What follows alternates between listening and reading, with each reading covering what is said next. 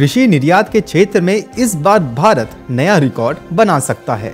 उम्मीद है कि चालू वित्त वर्ष में कृषि एक्सपोर्ट 50 अरब डॉलर के स्तर को पार कर जाएगा।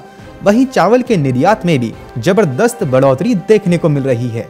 चावल का निर्यात बढ़ने से 10 राज्यों के किसानों को फ़ायदा हो रहा है। वाणिज्य मंत्रालय ने गुरुवार को इस संबंध में जानकारी दी।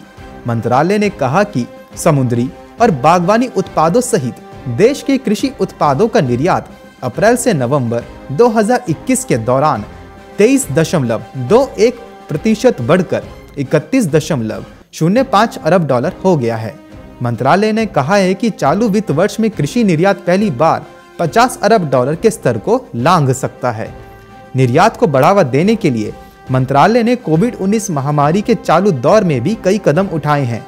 इन उपायों में विभिन्न प्रमाण पत्रों व मान्यताओं की वैधता की समाप्ति अवधि के बाद उनकी वैधता का विस्तार करना, समस्याओं के समाधान के लिए नियंत्रण कक्ष स्थापित करना, निर्यात के लिए ऑनलाइन प्रमाण पत्र जारी करना और जाँच संबंधी और प्रयोगशालाएँ खोलने की सुविधा प्रदान करना शामिल है।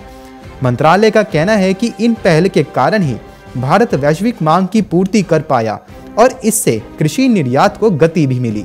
मंत्रालय ने कहा है कि मौजूदा वृद्धि स्तर को देखते हुए भारत का कृषि निर्यात पहली बार 50 अरब डॉलर के आंकड़े को पार कर सकता है, जो इतिहास का सर्वाधिक स्तर होगा।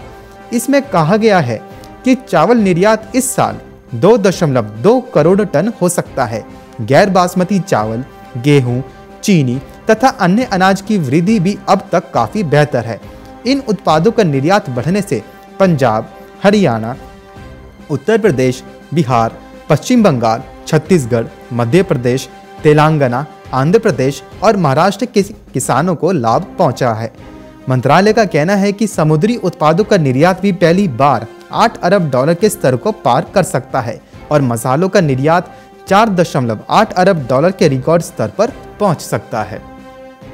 Report, Market Times TV. फिर से आ गया है कोरोना। घर पर रहने में ही है सबकी भलाई। अब आपको मेडिकल स्टोर पर लंबी लाइन में नहीं लगना। बिग ब्लिस लेकर आएगा। 10 मिनट में आपके घर पर दवाई। बिग ब्लिस खुशियों की अपनी दुकान।